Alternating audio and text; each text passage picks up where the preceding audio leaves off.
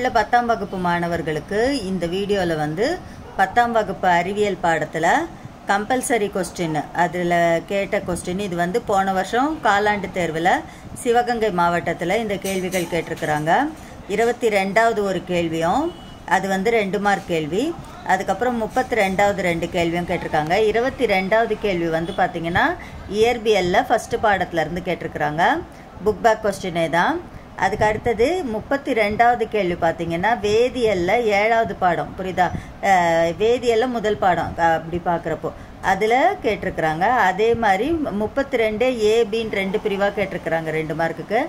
அதில் பி கேள்வி பார்த்தீங்கன்னா உங்களுக்கு அஹ் இ- உயிரியல்ல பதினாலாவது பாடத்துல இருந்து கேட்டிருக்கிறாங்க. அப்போ இயற்பியல் வேதியியல் உயிரியல் மூணுமே வந்து கம்பல்சரி கொஸ்டினில் வர மாதிரி ஈக்குவலாக கேட்டிருக்கிறாங்க. எந்த எந்த மாவட்டத்தில் கேட்ட கேள்வி இதுன்னு பார்த்தீங்கன்னா சிவகங்கை மாவட்டத்தில் கேட்ட கேள்வி. இதில் வந்து இந்த முப்பத்தி ரெண்டு ஆ வந்திருக்கு இல்லையா? ஹெச் டூ எஸ்ஓ ஃபோரில் உள்ள எஸ்ஸின் சதவீத ஏபை காண்க. இந்த கேள்வி வந்து இப்போ இப்போ நடந்து முடிஞ்ச பொது தேர்வில் ஏப்ரல் மாத பொது தேர்வில் விரிவான விடையலில் ஒரு பகுதியாக வந்தது. நல்லா முக்கியமான கேள்விகள் எல்லாமே. இப்போ இதுக்கு எப்படி சொல்யூஷன் கண்டுபிடிக்கிறதுன்னு பார்க்கலாம் வாங்க.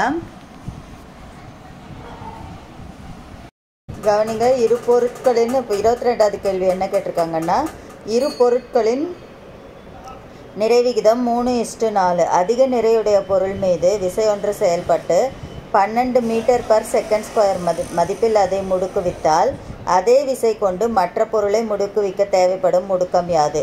இப்போ எப்படி என்ன கொடுத்துருக்காங்க? ரெண்டு பொருளோட நிறைய வந்து நம்மளுக்கு கொடுத்துட்டாங்க. சின்ன பொருளோட நிறை வந்து எம் ஒன் இஸ் டு மூணு கேஜின்னு வச்சுக்கிறோம். பெரிய பொருளோட நிறை வந்து எம் டூ இஸ் டு நாலு கேஜி அப்படின்னு வச்சுக்கிறோம். பெரிய பொருளோட நிறை வந்து மூணு கிலோகிராம். பெரிய பொருளோட நிறை வந்து ஏன்னா பெ- பெரிய பொருள் மீது தான் இப்போ பெரிய அதிக நிறை கொண்ட பொருள் மீது தான் அந்த முடுக்கம் செயல்படுது அப்படின்னு இருக்காங்க. எம் டூ வந்து நாலு கேஜி. இப்போது ஏ ஒன் வந்து நம்ம கண்டுபிடிக்கணும். நம்ம கண்டுபிடிக்கணும். ஏ டூ வந்து எவ்வளோன்னு கொடுத்துட்டாங்க? பன்னெண்டு மீட்டர் பர் செகண்ட் ஸ்கொயர் கொடுத்துட்டாங்க. எம் ஒன் வந்து எவ்வளோ கொடுத்துருக்காங்க? எம் ஒன் வந்து மூணு கேஜி எம் டூ வந்து அதாவது நிறை ஒன்று வந்து மூணு கிலோவும் நிறை ரெண்டு வந்து நாலு கிலோகிராமும் கொடுத்துருக்காங்க. மூணு இஸ்ட்டு நாலு அந்த ரேஷியோ கொடுத்துட்டாங்க. இப்போ என்ன பண்ண போகிறீங்க நம்ம? நியூட்டன் இரண்டாம் விதிப்படி F is equal to MA அதனால் என்ன செய்கிறோம் F one M one A one equal to M two A two M one வந்து இங்கே என்ன கொடுத்துருக்காங்க? Three A one equal to M two வந்து எவ்வளோ கொடுத்துருக்காங்க? ஃபோர் ஏ டூ வந்து twelve metre per second square கொடுத்துட்டாங்க.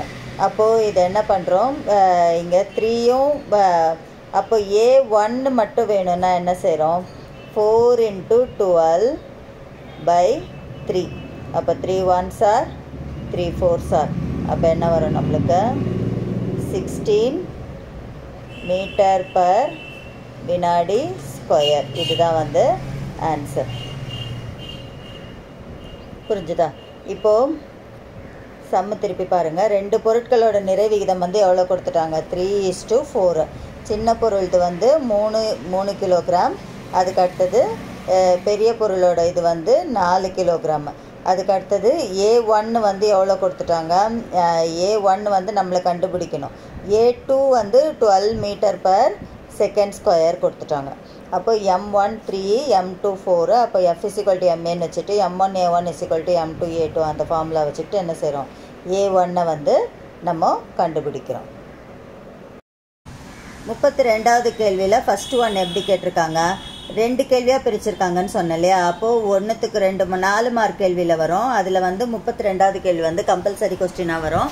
அதில் உங்களுக்கு ஃபஸ்ட்டு கொஸ்டின் என்ன கேட்டிருக்காங்க? ஹெச் டூ எஸ்ஓ ஃபோரில் உள்ள எஸ்ஸின் சதவீத ஏபினை காண்க. இது வந்து புக்கில் இருக்க எடுத்துக்காட்டு சம்மே தான் உங்களுக்கு. ஏழாவது பாடத்தில் வந்திருக்கு. எடுத்துக்காட்டாகவே ஆன்சர் சொல்யூஷனோடய கொடுத்துட்டாங்க.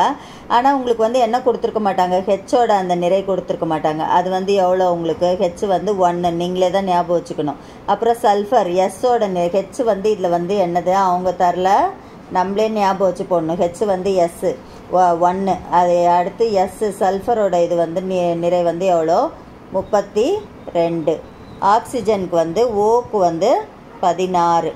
அப்போ அது வந்து நம்மளே ஞாபகம் வச்சுக்கணும். சில சம்பளம் அவங்க கொடுத்துருப்பாங்க. சில சம்பளம் என்ன பண்ணியிருக்க மாட்டாங்க? கொடுத்துருக்க மாட்டாங்க. இந்த கேள்வி வந்து போன பொது தேர்வில் உங்களுக்கு விரிவான விடைகளிலையும் வந்தது.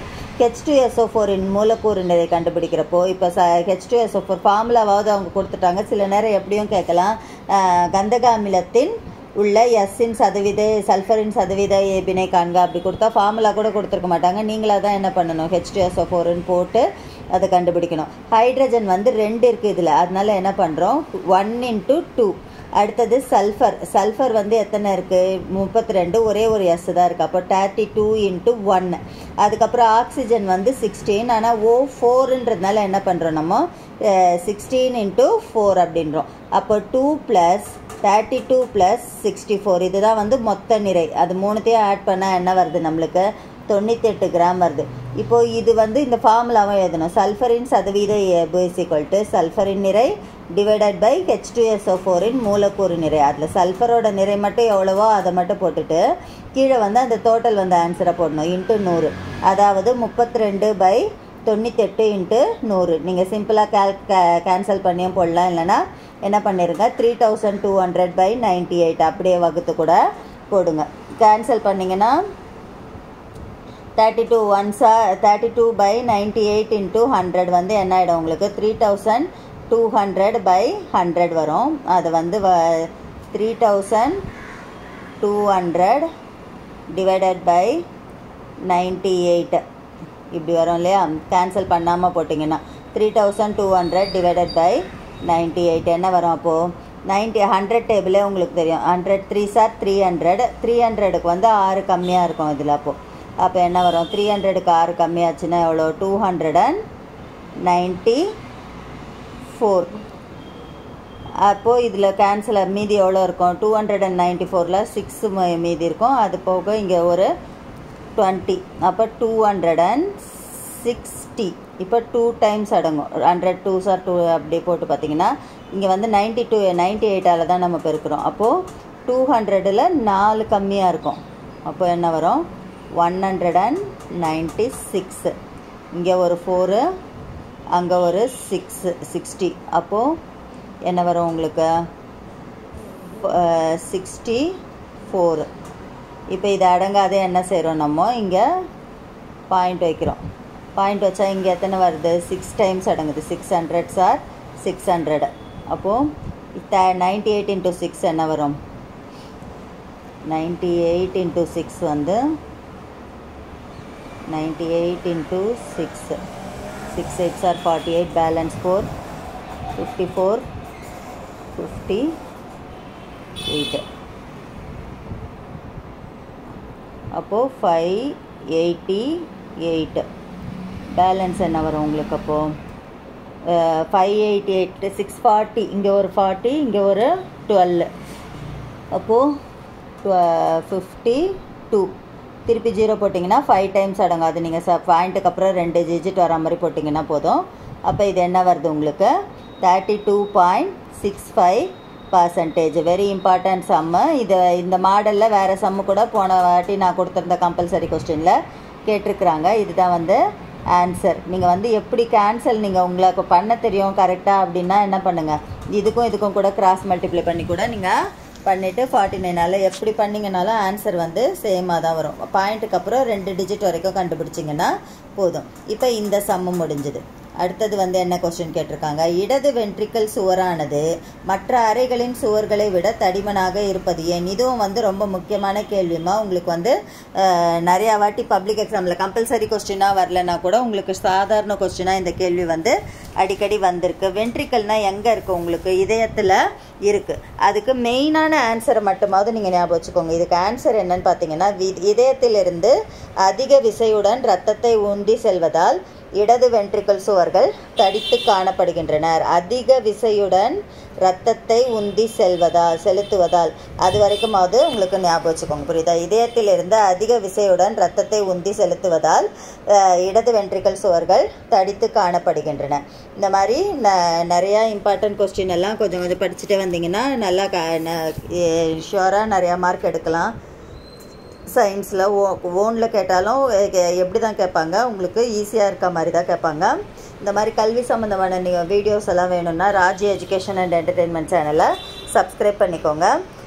பொன்னான நேரத்தை செலவு செய்து வீடியோ பார்த்ததற்கு நன்றி. தங்கள் பொன்னான கரங்களால் ராஜி எஜுகேஷன் அண்ட் என்டர்டெயின்மெண்ட் சேனலை இதுவரை சப்ஸ்கிரைப் செய்யாதவர்கள் சப்ஸ்கிரைப் செய்யவும். தேங்க்யூ